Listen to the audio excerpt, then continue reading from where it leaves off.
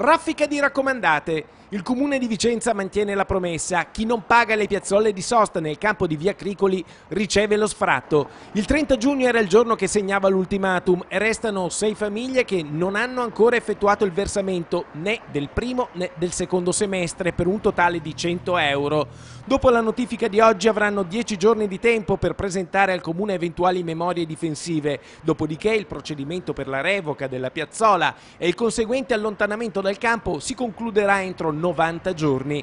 Tre mesi, insomma, a metà ottobre dovranno andarsene.